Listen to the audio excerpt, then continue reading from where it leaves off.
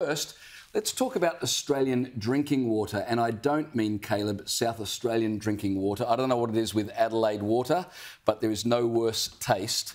It is, it is legitimately water. the worst water in the country. Why is Reputedly, there are only two places in the world where cruise ships will not dock and take water, and Adelaide is apparently one of them. What's the other one, do you know? I don't know what the other one is. Who cares? Adelaide is bad Probably enough. Kangaroo Island. well, look, the taste of Adelaide water is the least of our concerns. The bigger problem is Forever Chemicals. A report out this week states that Forever Chemicals recently declared carcinogenic are allowed in Australia's tap water at 140 times the maximum level now considered safe by the United States. Now, the forever chemicals, so called because they never break down in the environment and they take years to leave the human body, are known to cause serious illnesses such as uh, cancers and birth defects. So, taking all that into account, the Biden administration has recently passed legislation to ensure that levels of forever chemicals, specifically PFOS and POFA, don't exceed four parts per trillion in drinking water. Now, uh, they say no FO, none of these uh, forever chemicals are safe at all, but at four parts per trillion, it's barely detectable.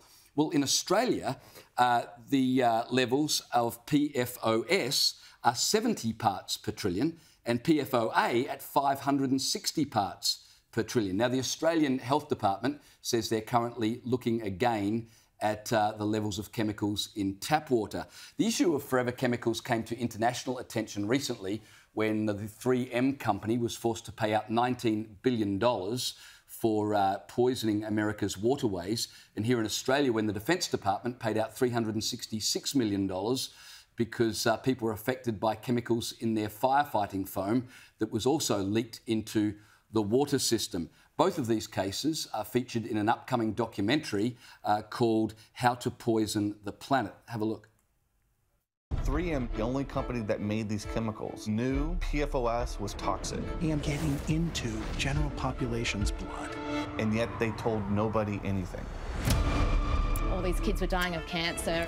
Basically on the doorstep of 3M's headquarters. Generation after generation exposed in the name of profits. That's the goal of our trial, to tell that story. This story, it's playing out all over the world now.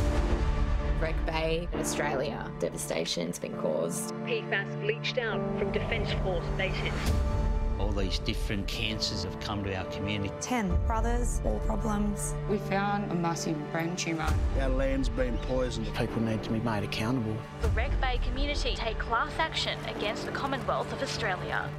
We've lost a lot. 90% of 3M's PFOS was produced after they learned it was toxic, after it killed monkeys. This has to be the most explosive information that I've found. How could this happen?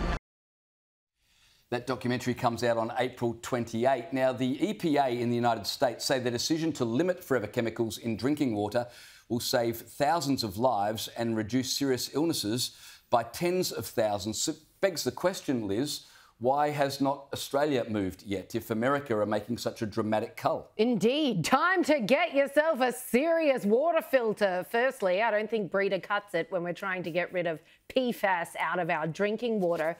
But also, before we applaud the Biden government uh, too hard for this, this was only due to a deathbed crusade carried out by a brave young woman called Amara Shaw. She died at the age of 20 due to liver cancer. And in her school alone, there were 21 cases of cancer. All these young kids, just tragic, tragic story. But that's what it took for the Biden administration to finally move on this, which is surprising given that studies show PFAS the results of people imbibing them constantly is costing the US $250 billion a year. Check out this headline from January. That is a lot of money. And as the headline notes, that is more money than the COVID outbreak cost.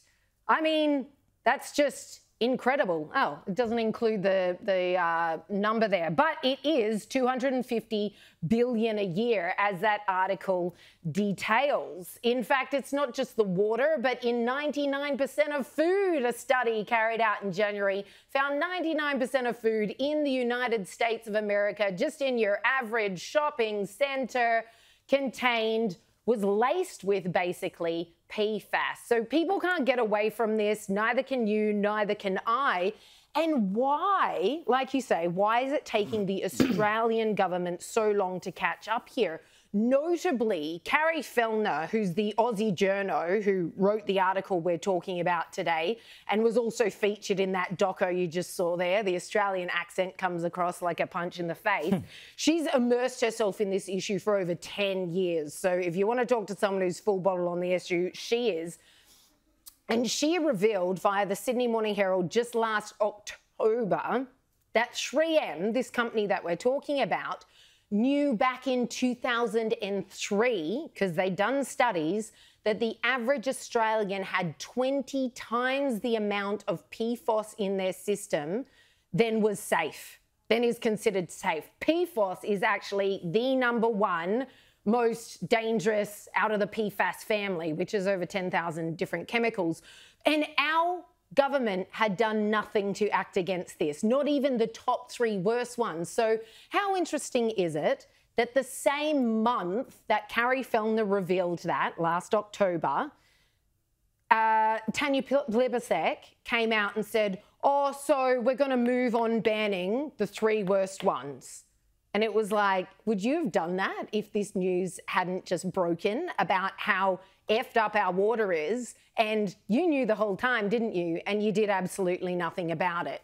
So now we're seeing a tiny move in this space. And like you say, the government tells us, oh, yeah, our water's under review. Mm. Do something about it and do something about it fast because, as per those numbers in the States of how much they're spending on people who are made unwell by these things. So many people here today in Australia, there's massive links to cancer with PFAS, uh, hormonal disruption, uh, your immune system being shot by this thing, all number of health issues. And who's to say anything that they may or may not be suffering is due to this constant consumption because the government's done nothing about all these different manufacturers using it in their products on an unknowing, unsuspecting public. It's disgusting. It's criminal. Well, well what's why do you need a review? I mean, I thought. Uh, when the US instituted rules about, you know, car emissions, we were told, well, we've got to do it because the US has done. We didn't require a review for that. The yeah. US has done it, therefore we must do it.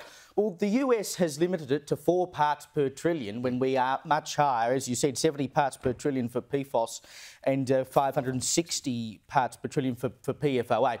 PFOS, by the way, uh, used to be in food packaging and Scotchgard, which um, I'm sure many of you at home may well have put on a, a new couch when you bought it to try and uh, extend its, its lifetime. And PFOA was in Teflon, which uh, of course is used in non-stick pans, etc. So it was leaching into the food you were, were eating, it's leaching into the water systems.